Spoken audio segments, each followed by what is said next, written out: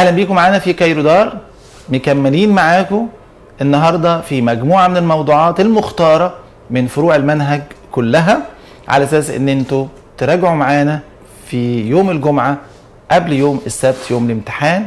واتفقت معاكم إن أنتوا بيجي لكم موضوعين قراءة بنختار منهم موضوع. هنتكلم دلوقتي في موضوع القدس مدينة عربية إسلامية. في الفقرة بيقول لي ومن ذلك التاريخ أصبحت مدينة القدس إسلامية تابعة في في إدارتها طبقا للتقسيم الإداري لجند فلسطين ووفدت القبائل العربية إلى الشام العربية ودخلت هذه القبائل في التكوين الاجتماعي للمدن بالميم للمدن القديمة مثل دمشق وحلب والقدس وأصبح العنصر العربي والإسلامي بمرور الوقت العنصر الغالب في القدس بكل ما يحمله من المقومات الحضارية والدينية. في ضوء فهمك معاني الكلمات في سياقها ضع مرادف كلمة وفدت ومضاد الايه؟ الغالب. هنا وفدت القبائل بمعنى إيه؟ جاءت. ومضاد كده العنصر. العربي الغالب يبقى بمعنى كده اللي هو المسيطر والكثير يبقى عكسها الإيه؟ القليل. وبعد كده في الموضوع بيقول لي آه لماذا تعد مدينة القدس عربية خالصة؟ ما هو السبب؟ إن هو أول حاجة إن هو الذي بناهم العرب الكنعانيون ماشي؟ من آلاف السنين. وتقدر ذلك بأربعة آلاف سنة. عند بئر مياه عذبة وسميت هذه المدينة مدينة السلام اللي هي أور سالم. خلاص؟ وبعد كده توافد عليها آه بطون أخرى من الكنعانيين زي العموريون واليوبوسيون والأراميون والفينيقيون إلى آخره. فهي مدينة عربية آه خالصة وليس لليهود حق آه فيها ولكن هو اغتصاب. سيزول حتما قريبا إن شاء الله. بيقول لي بما دلل الكاتب على تسامح الإسلام وعظمته واحترامه للديانات هنتكلم عن العهدة العمرية اللي عملها عمر بن الخطاب بعد فتح مدينة الإيه؟ آه القدس وإنه الحكم الإسلامي الذي امتد آه قرون كثيرة لهذه المدينة لم تتوقف رحلات المسيحيين آه إلى الأراضي الإيه؟ المقدسة. طيب بيجي يقول لي لما اتجه صلاح الدين الأيوبي صوب عكا اولا ولم يتجه إلى القدس ليستولي عليها بعد انتصاره في حطين فهنقول لكي يقطع خطوط الإمداد التي آتية من أوروبا إلى الصليبيين في الشام فقام بتحرير هذه المدن الساحلية من أيدي الصليبيين من عكا حتى بيروت شمالا. ودي عبقريته الإيه؟ الحربية. هنا دلوقتي بيبقى عندنا في ثالثا الأدب والبلاغة وبيجي لي في سؤال الأدب سؤالين سؤال في مدارس الشعر وسؤال في فنون النثر. بيقول لي في سؤال المدارس بيقول لي وأم تلاميذ البارودي بين اتجاهين ما هما اللي هو الجمع بين التراث العربي القديم والاتصال بالثقافة الإيه؟ الغربية. وبيقول لي في نقطة تانية مطران خطوه انتقالية بين الكلاسيكية والرومانسية يعني هنلاقي كده إن مطران أصلا يعني تأثر بالقديم؟ ودعا إلى التجديد. تجيب لي مثال على التأثر بالقديم تقول لي زي وحدة الوزن والإيه؟ والقافية والتأثر بالقدماء في بعض الألفاظ وبعض الصور وتقول لي إن هو في الجديد إن هو الوحدة العضوية ووضع عنوان للإيه؟ للقصيدة والتجربة الذاتية والامتزاج بالإيه؟ بالطبيعة. يعني دول كده أسئلة. زي دي بتيجي اللي هو في مدارس الإيه؟ الشعر. بيجي بقى السؤال في فنون النثر زي مثلا السؤال بيقول لماذا تعد القصة العربية أقرب الفنون الأدبية لروح العصر؟ فهو أقول له لأنها بتعالج موقفا واحدا وشعورا واحدا بإيقاع إيه؟ آه سريع. والفرق بين القصة القصيرة والرواية أن القصة القصيرة تعالج موقف واحد وهنا دي تصنع حياة إيه؟ كاملة. القصة القصيرة تتوغل في أعماق النفس ودي تتوغل في إيه؟ في أعماق الزمن. هنا قصة قصيرة لا تتعدد فيها الشخصيات ولكن في الرواية تتعدد الشخصيات. ولكن بيجي يقول لي ما هو الشرط الواجب توافره إذا تعددت الشخصيات في القصة القصيرة؟ فبقول له ينبغي أن تكون الشخصيات من نسيج إيه؟ آه واحد عشان نسمح بالإيه بالتعدد زي قصة نظرة فيها الشخصيتين.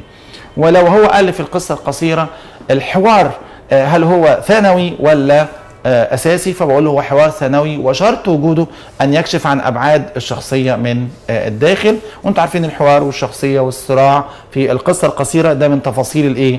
الإنشاء اللي هي بتبنى على ثلاث أسس مبدأ الوحدة ومبدأ التكثيف والتركيز وتفاصيل الإيه؟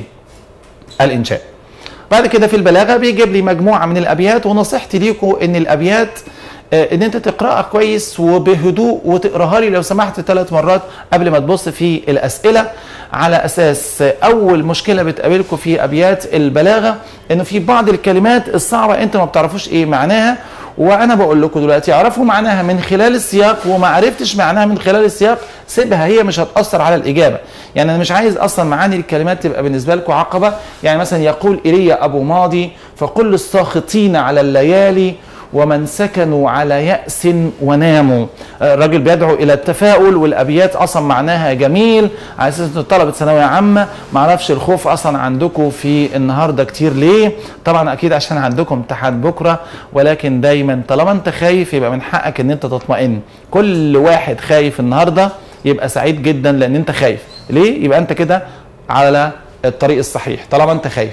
وما تبقاش أنت فقل الساخطين على الليالي ومن سكنوا على يأس وناموا سينحسر الضباب على الروابي لاحظوا ايليا أبو ماضي صحيح هو بيستخدم مفردات الطبيعة بس كل كلمة ليها دلالة. أنت عارفين إن الاستعارة التصريحيه فقل الساخطين على الليالي. الليالي دي كده طبعا تعتبر بالنسبة لي إيه؟ مشبه به والمشبه محذوف اللي هو لأنها استعارة تصريحيه ممكن الأزمات ممكن المشكلات ممكن العقبات أي حاجة كده شبهها بالإيه؟ بالليالي. سينحسر الضباب على الروابي. برضو ده تعتبر بالنسبة لي كناية بيقول لك إن المشاكل سوف تنتهي وإن الخوف إن شاء الله سوف ينتهي. ويبدو الورد فيها الخزام ويصفو جونا بعد انكدار. الطباق واضح يصفو وانكدار. عكسها يصفو جونا بعد انقدار ويسقى ويسقي أرضنا المطر الرهام. طب أنت بقى ما أنتش عارف كلمة المطر الرهام. قلت لك خدها من خلال السياق. يعني المطر الغزير يعني ما أنتش عارف الرام يعني إيه إن هي الغزير. ما قدرتش تجيبها من السياق. مش مشكلة. يعني أنا مش عايز الناس أصلا تكلكع الدنيا في الامتحان. آه ونرجع أمة ترجى ترجى وتخشى.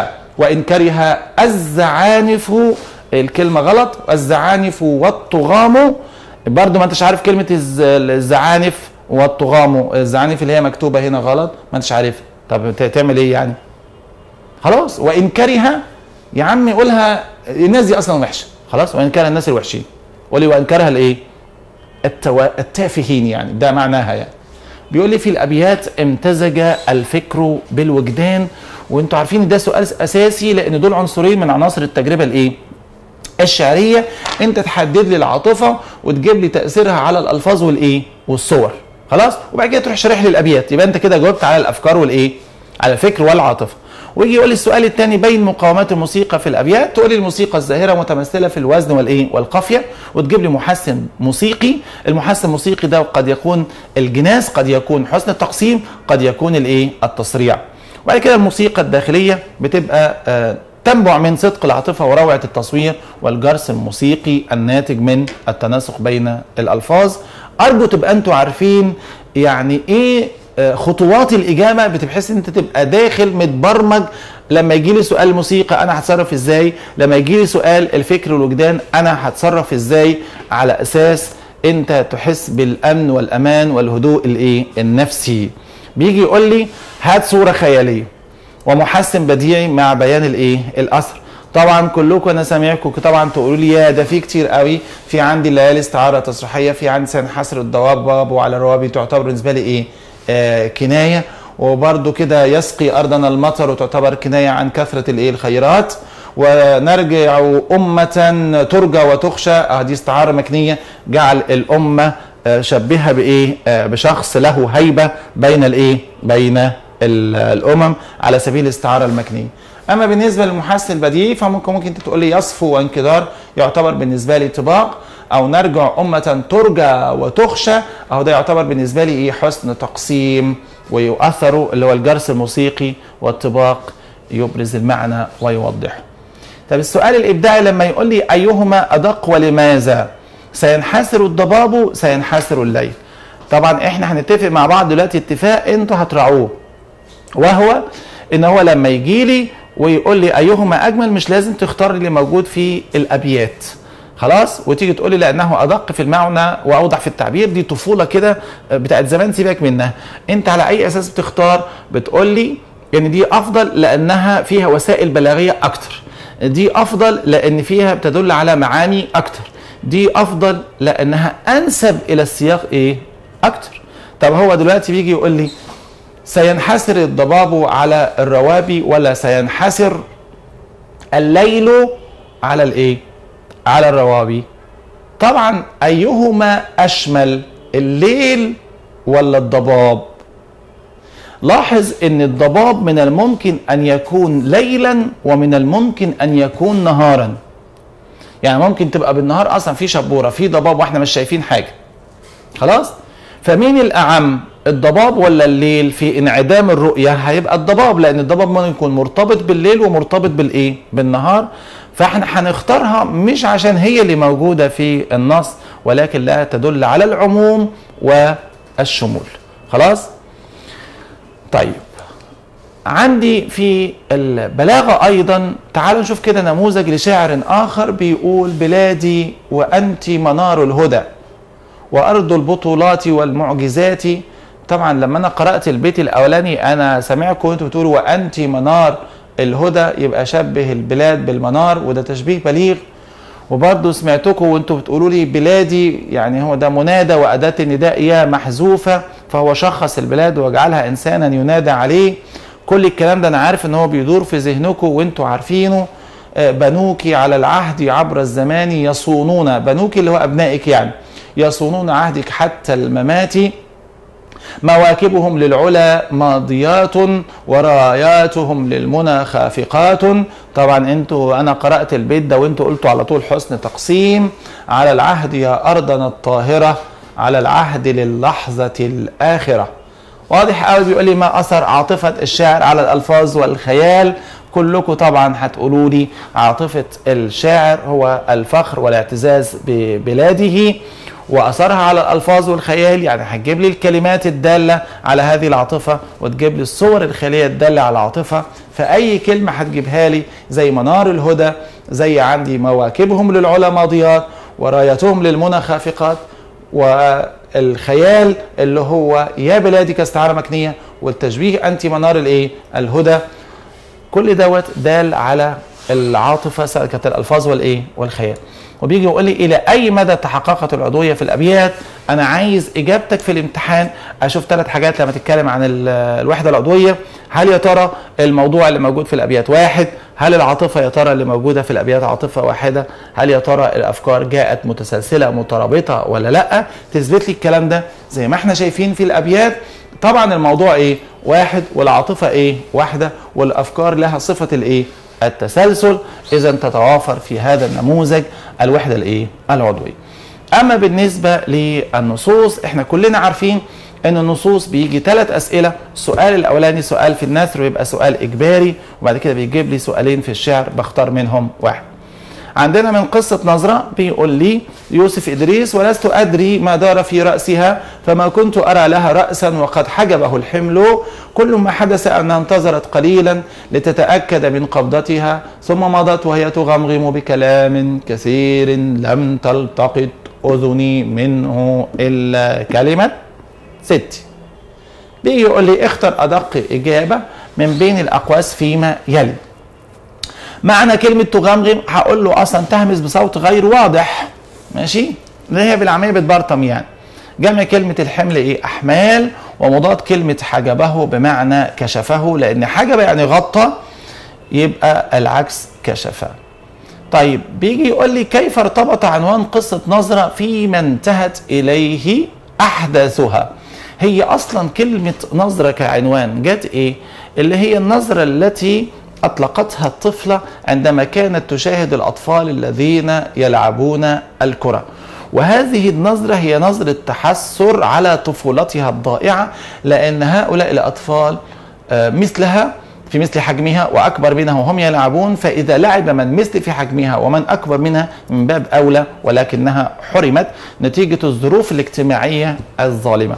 فده النظرة اللي هي نظرة الإيه؟ التحسر وهي هذا الشعور هو الشعور المحوري من بداية القصة حتى إيه؟ حتى نهايتها. عشان كده ارتبط عنوان القصة بما انتهت إليه. خلاص؟ فهو العنوان يوحي بالتحسر وهي انتهت أيضا بنظرة الأطفال بنظرتها إلى الأطفال وهي نظرة تحسر فده إجابتنا للسؤال. بيجي يقول لي اتسمت هذه القصة القصيرة بعدة سمات اذكرها. إيه السمات اللي اتصل بيها؟ طبعا انت هتقولي اتسمت بالوحدة والتكثيف والايه؟ والتركيز. خلاص؟ وبرضه فيها تفاصيل الإنشاء لأن فيها صراع وفيها تشويق وفيها آه، شخصية والحوار يكشف عن أبعاد الشخصية من الإيه؟ آه، من الداخل.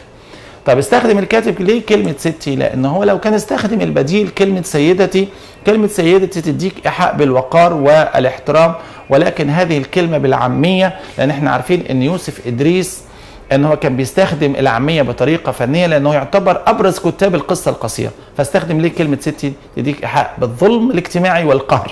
ماشي؟ لأن يوسف إدريس زي ما قلنا إن هو من سماته إن هو ارتبطت قصصه بواقع المجتمع المصري واستخدم اللهجة الفنية اللهجة. اللهجة العامية بطريقة فنية كمان إن هو وعى الأساليب الفنية للكتاب العالميين. فدول ثلاث أسباب تقولهم لي لو هو سألك لماذا استحق يوسف إدريس كاتب هذه القصة أن يكون أبرز يعني أشهر كتاب القصة القصيرة؟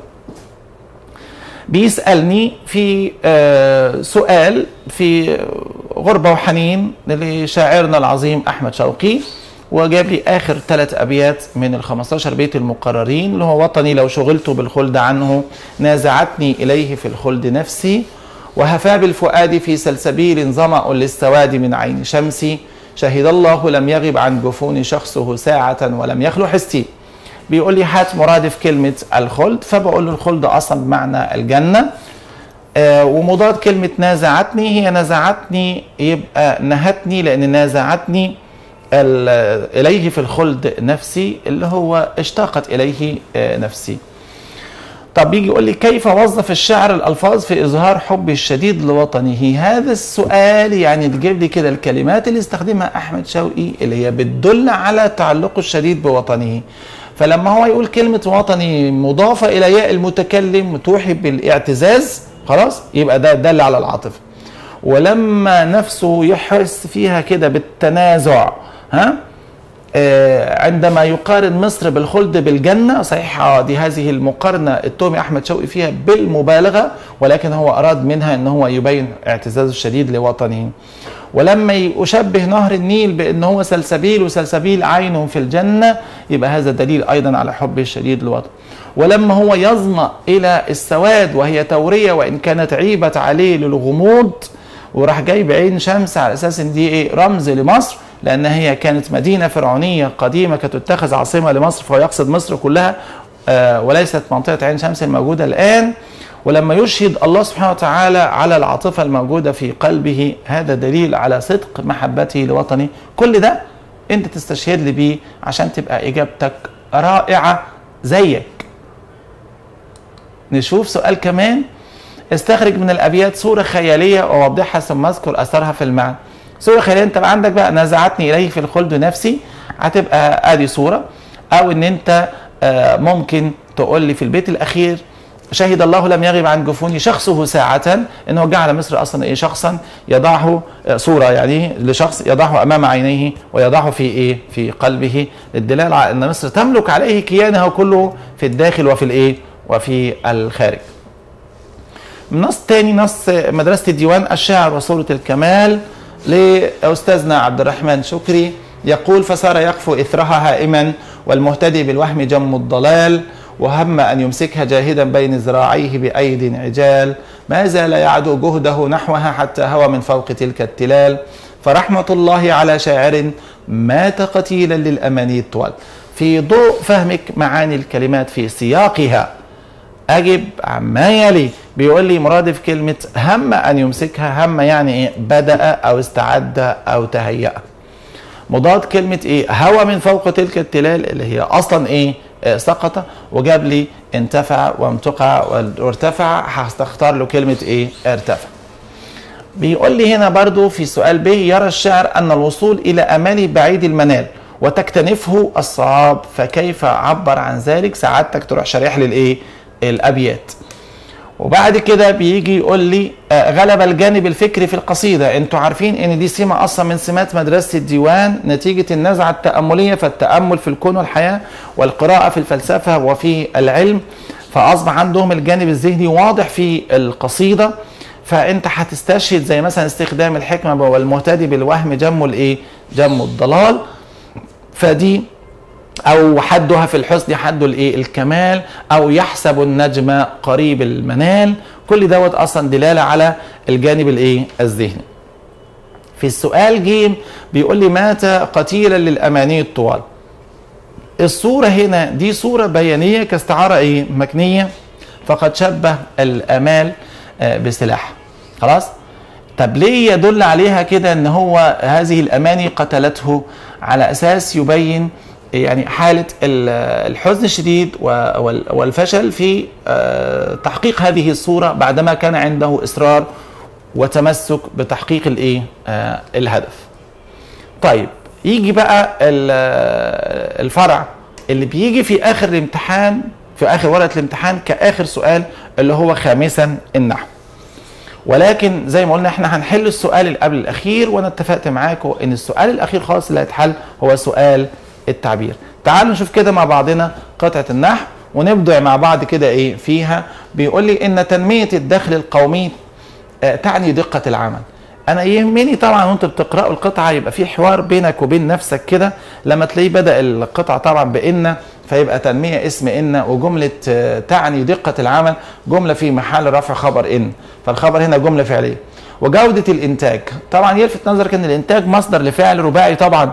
جاي من انتج ينتج انتاجا آه، بحيث تزيد الفائدة. لاحظ إن حيث ظرف وتزيد الفائدة جملة في محل جار مضاف إليه. ودايما الاسم الموصول التي لما يجي قبليه كلمة معرفة على طول يبقى نعت التي تعود من العمل. برضو جملة تعود من العمل قبليها التي تبقى تعتبر بالنسبة لي آه، جملة صلة الموصول لا محل لها من الإعراب. ولو قال لي طلع جملة صلة الموصول مع بيان العائد دايما العائد هو الضمير. ولو قال لك طلع جملة نعت أو جملة حال مع بيان الرابط برضو الرابط هو الضمير. بس مع النعت والحال بيقول الضمير هو الرابط ومع جملة الصلة بيقول الإيه؟ العائد. آه، التي تعود من العمل فموظف الحكومة موظف يعتبر بالنسبة لي مبتدأ يستطيع أن يؤدي عملا أحسن. أحسن هنا صفة لإيه؟ لعمل. ولاحظوا إن أن يؤدي تعتبر بالنسبة لي مصدر مؤول في تلك الساعات طبعا كلكم واضح إن كلمة تلك اللي هي زي كلمة تلكم. اللي هي تلكمو اللي جت في امتحان سنتين السنة اللي فاتت والناس قالتها غلط وناس قالتها إيه؟ تلكم وناس قالتها تيليكم وكان أصلا إيه؟ حاجات كده تضحك ولكن ده اسم إشارة بعديه بيجي بدل اللي هو كلمة الساعات. وأنتم عارفين إن البدل أصلا هو أحد أنواع التوابع الأربعة النعت والبدل والتوكيد والعطف التي يقضيها كل يوم. لو سألني في إعراب كلمة كل هقول له نائب عن الظرف. دايما أعرف كلمة كل نائب عن الظرف إمتى؟ لما يجي بعدها كلمة تدل على الزمن زي كل يوم كل شهر كل سنة. ماشي؟ في مكتبه والعامل في المصنع يزيد إنتاجه. لاحظ إن العامل مبتدأ وجملة يزيد إنتاجه جمله خبر دون أن يعمل. برضو مصدر مؤول ساعات إضافية. لو حط لي خط تحت كلمة ساعات اوعى تقول لي مفعول به لأن العمل مش بيقع على الساعات لا ده العمل في الساعات هي بمعنى في. ودايما بتيجي بمعنى في كلمة دل على الزمن بمعنى في على طول تبقى ظرف زمان. يبقى ساعات هنا ظرف إيه؟ زمان منصوب. بالكسره طبعا وهي علامة فرعية لأن ده جمع مؤنث إيه؟ سالم ساعات إضافية فعلى العاملين. العاملين دي كده هي مش مش مكتوبة مظبوطة. فعلى العاملين تبقى تعتبر خبر مقدم وجميعهم توكيد معنوي طبعا العمل. هو حاطط لي خط تحت العمل عشان كده عربت لك أنا فعال العاملين. العمل يبقى العمل تعتبر بالنسبة لي مبتدأ مؤخر بدقة وإتقان وتوفير كل ما يمكن توفيره من النفقات الاستهلاكية. طبعا الاستهلاكية هي كلمة معرفة قبلها كلمة النفقات وهي كلمة معرفة يبقى تعتبر بالنسبة لي نعت مجرور وزيادة الإنتاج وجودته لتنمية الدخل القومي. وده أول سؤال. في اعرف ما تحته خط قد يكون. أنا عملت بيني وبين القطعة حوار وفهم على أساس أنت القطعة تفهمها. عشان كده بعد كده لما تتسأل عليها هتلاقي أنت الأسئلة أنت عارفها. زي يقول لي استخرج من الفقرة اللي إحنا شرحناها معاكم دلوقتي مصدرا مؤولا. فأنت هتقول لي المصدر المؤول إحنا شفناه. جه مرتين جه كلمة أن يؤدي وجه كلمة إيه؟ أن يعمل. طيب المصدر المؤول لو قال لي حوله إلى صريح أروح شايله وحط مكانه المصدر الصريح بتاع الفعل.